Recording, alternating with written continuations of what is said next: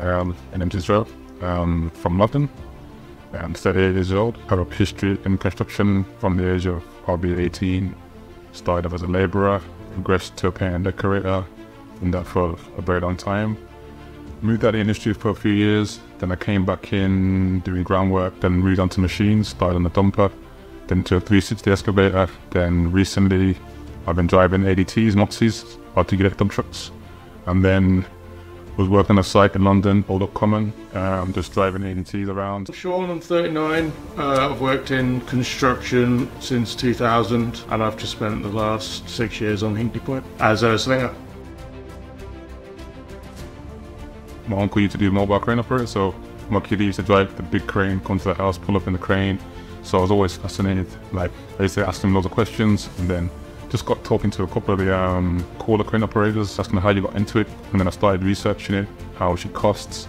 And then one day I spoke to one operators, I was like, so how, um, how did you get about on the course, and how did you do this? He goes, oh, select training. I was doing the enhanced slingers course on Hinkley, and the instructor told me about the training course and that there was one coming up, and uh, I enrolled.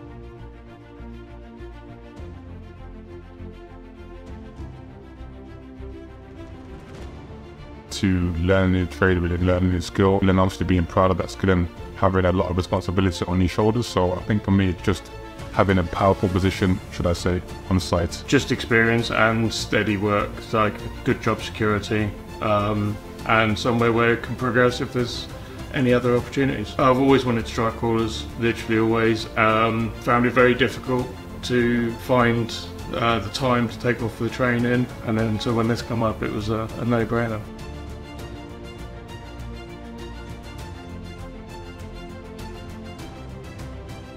It was fairly easy. I enrolled online on the portal. Um, my application went through quite quickly. I only enrolled a few months ago and had a phone call uh, almost straight away. Quite easy, um, and you put in the QR, call on your phone. They have you like a questionnaire about five or six questions. Pretty simple to follow, and the instructions are pretty easy, and the questions are pretty simple to follow.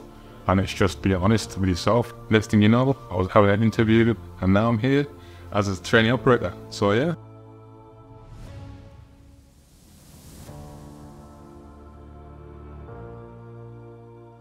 Just so grateful for being in the opportunity to be at the training academy. I think the trainers are wonderful. Um, Greg, Casey, and Jay.